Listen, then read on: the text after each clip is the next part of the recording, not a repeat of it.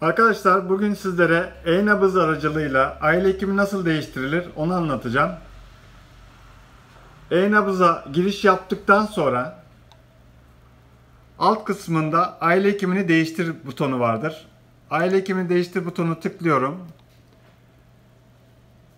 Bu seçmek istediğiniz ili seçiyorsunuz. Antalya'dayım ben. Antalya işaretli. Antalya Muratpaşa diyorum.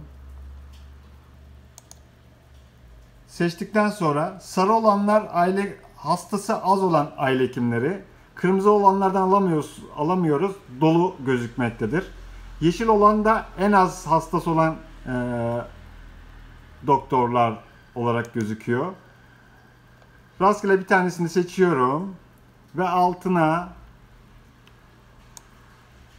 aile hekimini değiştir butonu geliyor. Aile hekimini değiştir butonu tıkladıktan sonra bu ibareyi okuyorsunuz. O, bu ibarede de 3 ay içerisinde tekrar değişiklik yapılamadığını anlatıyor. Bunu tıkladıktan sonra onaylıyorum dediğiniz zaman aile hekiminiz değişmiş oluyor. Burada dikkat edeceğiniz konular 3 ay içerisinde bir daha değişiklik yapamıyorsunuz.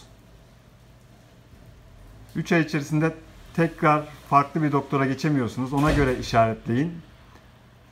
Eğer bu videoyu yararlı bulduysanız beğenmeyi unutmayın arkadaşlar. Teşekkür ederim.